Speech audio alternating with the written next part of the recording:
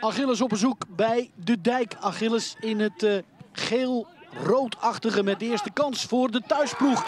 Sterker nog, het is meteen het eerste doelpunt. Het is de derde minuut al.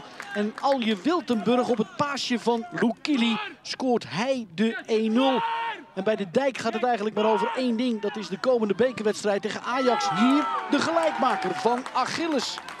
Daar komt hij op naam van Niels Wouters, de spits. Die het foutje daar genadeloos afstraft van Tim Ruder. Tweede helft dan bij die stand van 1-1. Daar is de goal en wel van Tim Ruder. Hij met de voorsprong voor de dijk. En het feestje achter de goal bij de doelman Timo Platel. Erik Meijers ziet dan de bui al hangen. Afgelopen week goed resultaat tegen NAC. En hier een overtreding. En dat is een tweede gele kaart voor de Cler. Die dan het veld mag verlaten. Onderweg nog even een prullenbak omstoten, maar dat keurig netjes opruimde. Hier Lukili, die gebruik maakt van de man-meer situatie. En dus de dijk op 3-1 zet. Het is de 70ste minuut. En de dankbaarheid gaat uit naar El Gourari, die kwam met de voorzet. Balbezit dan voor de verdediger eigenlijk. Westmaas, combinatie. En dan voor de voeten van Westmaas. En dan is het zowaar 4-1 voor de dijk. Prima gespeeld van die verdediger. En dus de dijk op rozen. Het verloor van IJsselmeervogels.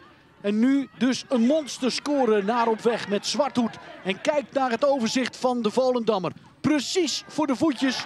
En wel van Tayeb die met het stuitje de bal binnenbrengt. En dan scoort hij de 5-1 voor de dijk. Het is de 82e minuut. En dan is het nog steeds niet gedaan. Want Tim Ruder mag zijn volgende goal maken. Nog enigszins geholpen op de doellijn. De dijk wint met 6-1 van Achilles. En dat is een monsterscore voor die ploeg op Schellingwoude. Waar het eigenlijk maar over één ding gaat. Die wedstrijd tegen Ajax in de beker.